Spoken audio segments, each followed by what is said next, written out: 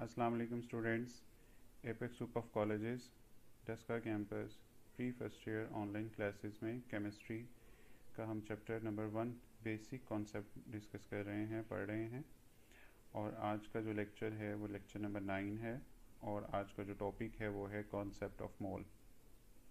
Basically जो मोल है, वो केमिस्ट्री की एक टर्मिनोलॉजी है, केमिस्ट्री की एक टर्म है और ये हम लोग स्टिशोमेट्रिकली कैलकुलेशंस के अंदर मोल का बहुत ज़्यादा अहम रोल इम्पोर्टेंट रोल है।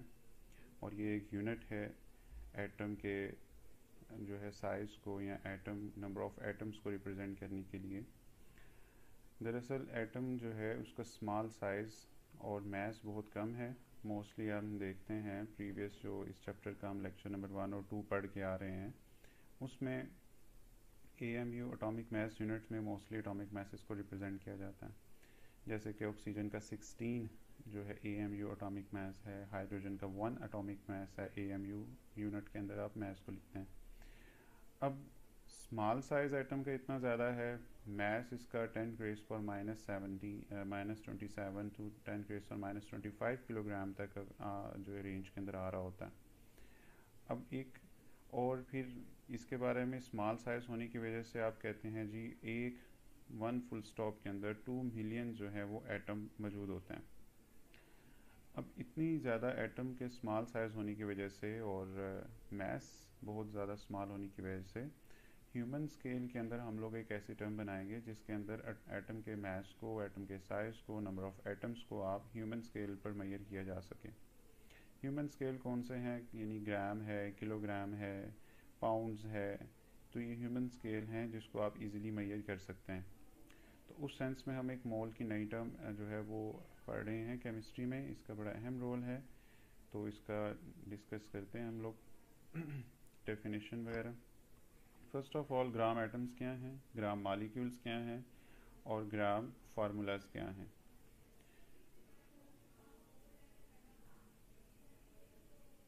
तो किसी भी एटम के एटॉमिक मैस को एटम के एटॉमिक मैस को ग्राम्स में एक्सप्रेस कर दिया जाए तो वो कहलाएगा वन ग्राम एटम या उसको वन ग्राम मोल कह सकते हैं।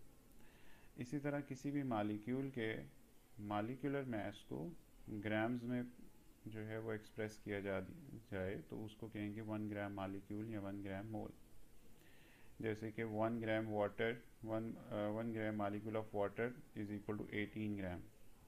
तो क्योंकि वाटर का मालिक्यूल ऑफ़ मैस एटीन है, और उसको अगर आप ग्राम्स के अंदर ले लें, उतने ग्राम वाटर ले लें तो वो कहलाएगा one gram molecule of water या इसको वन ग्राम मोल बोल देंगे ऑफ़ वाटर क्लियर होगी बात?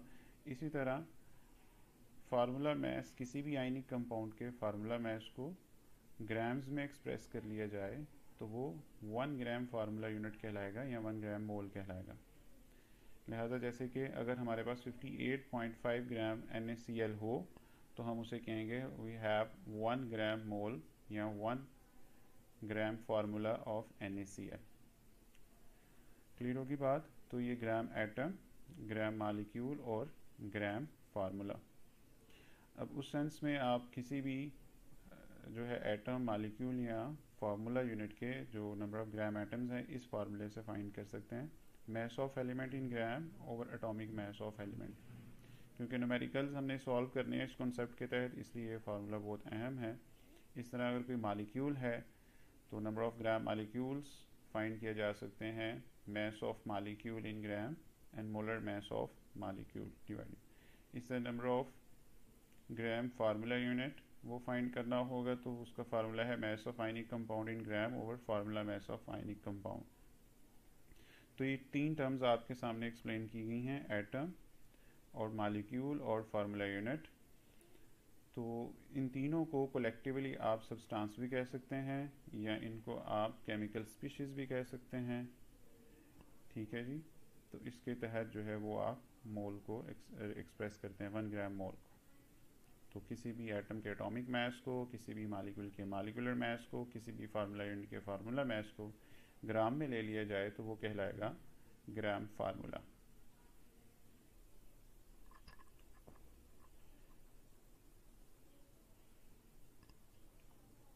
उसके बाद जी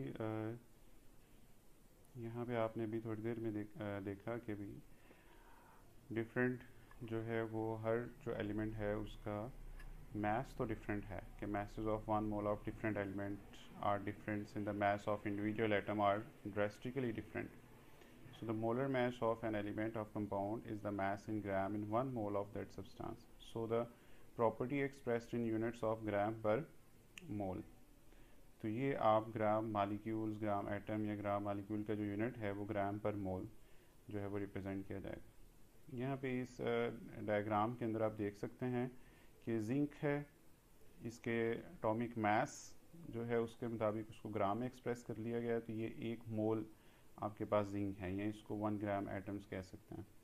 इस तरह 12 ग्राम कार्बन ली जा रही है और ये एक मोल के बराबर है। अब इसी तरह 24 ग्राम ऑफ़ मैग्नीशियम है। इनके एटॉमिक मैसेस को ग्राम में ले लिया गया है तो ये हमारे पास ये तमाम चीज़ें एक मोल के अंदर हैं, जो केमिस्ट्री का एक यूनिट है ठीक है जी। उसके बाद जी कम्प्रीहेंसिव डेफिनेशन की तरफ़ आते हैं और उसका फार्मूला जिससे हमने न्यूमेरिकल सॉल्व करने हैं। तो जी डेफिनेशन है atomic mass molecular mass formula mass और ionic mass of a substance expressed in gram is called one mole तो ये प्रीवियस जितनी डिटेल के साथ हमने पढ़ा, उसको एक ही डेफिनेशन के अंदर हम लोगों ने एक्सप्लेन कर दिया है कि एटॉमिक मैस एटम का होता है मालिकुलर मैस मालिक्यूल का फार्मूला मैस फार्मूला यूनिट का आइनिक मैस आइनिक स्पीशीज़ का। उनके मैसेज को ग्राम में ले लिया जाए, जो कि ह्यूमन स्केल है। नॉर्मली आप केमिस्ट्री में A M U unit use कर रहे होते हैं। तो लिहाजा ह्यूमन स्केल के अंदर ग्राम्स में ले लिया जाए उनके मैसेज को तो वो वन मोल के बराबर होगा। जैसे कि यहाँ पे एग्जांपल है, अगर हम 18 ग्राम ये ग्लास के अंदर वाटर ले लेंगे तो इजीली आप फ़िज़िकल बैलेंस से मैयर करके वाटर ले सकते हैं। 18 ग्राम। तो वो हमारे पास एक्चुअली क्या है? एक मोल वाटर कहलाएगा। केमिस्ट्री की सेंस में। ठीक होगी बात? अब नंबर ऑफ़ मोल फाइंड करने का जो फार्मूला है mass of substance over molar mass atomic mass molecular mass formula mass ionic mass उनको कलेक्टिवली क्या कह देते हैं आप? मोलर मैस से रिप्रेजेंट कर देते हैं। नेक्स्ट जी हम लोग इस फार्मूला के रिलेटेड जो है वो न्यूमेरिकल सॉल्व करेंगे और यही अहम है, ये टॉपिक का सारा खुलासा जो है कि फार्मूला आना चाहिए डेफिनेशन आनी चाहिए मॉल की और इसके रिलेटेड जो न्यूमेरिकल्स हैं वो सॉल्व करने हैं, क्योंकि इस चैप्टर में से न्यूमेरिकल शॉर्ट क्वेश्चन में और लॉन्ग क्वेश्चन में आ सकते हैं, इसलिए हमने उस पर ज़्यादा इंपॉर्टेंस देनी है प्रैक्टिस करनी है उसकी। तो ये हमारी एग्ज़ाम्पल है बुक के अंदर टेक्स्ट बुक में,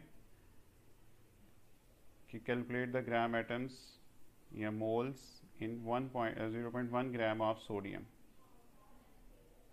तो इसमें ग्राम एटम्स का जो है वो आप, जो है वो फार्मूला लगाएँगे नंबर ऑफ़ ग्राम एटम्स या नंबर ऑफ़ मोल्स बराबर है mass of element in gram over molar mass तो गिवन मैस सोडियम का दिया गया ज़ीरो पॉइंट वन ग्राम और मोलर मैस यानी इसका अटोमिक मैस प्योर टेबल में होता है ट्वेंटी थ्री ग्राम तो इसको डिवाइड करेंगे तो आंसर आ गया zero point zero zero four three mole या इसको यूँ रिप्रेजेंट कर सकते हैं साइंटिफिक नोटेशन के अंदर। तो ये आंसर आ गया हमारा। इसका बी पार्ट जो है, इसी क्वेश्चन का, वो हमारे पास दिए हुए silicon zero point one kilogram है। तो क्योंकि ग्राम के अंदर आप लोग जनरल जो है कैलकुलेशन कर रहे हैं तो उस सेंस में आप पहले किलोग्राम को ग्राम में कन्वर्ट कर लें तो वन थाउज़ेंड से मल्टीप्लाई कर दें तो हंड्रेड ग्राम जो है इसका जो है वो आंसर आ गया। और मोलर मैथ सिलिकॉन का होता है twenty eight point zero eight six तो नंबर ऑफ़ ग्राम एटम्स का ये फार्मूला उसी तरह लगाएँगे given mass over molar mass तो आंसर आ गया थ्री पॉइंट फाइव सिक्स तो यही आंसर इसका आ गया तो ये शॉर्ट क्वेश्चन में ये दोनों आ सकते हैं सेपरेटली ए और बी पार्ट जो है इसका।